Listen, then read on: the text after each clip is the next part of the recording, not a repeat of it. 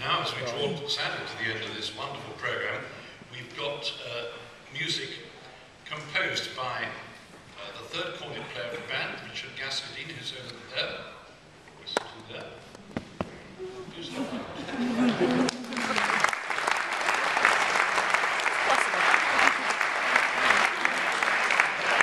And this began life as a, a hymn for choral use. It was written for the Elysian singers of Wetherby, and it's been now in this uh, form for the brass band. It's a hymn about St. Peter, and it's a very beautiful, sustained piece. And above all, uh, rather like Nigel's uh, transcription, it's work by a top musician in our own area, so that's really to be encouraged. Here it is, Hymn for Rothwell. You might